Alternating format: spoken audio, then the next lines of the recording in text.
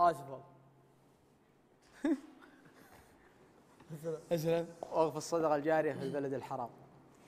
150 ريال. والله العظيم ثم الله. أنا أنا يا أسامة لو إني أملك اللي يسكر الوقف اني أدفع.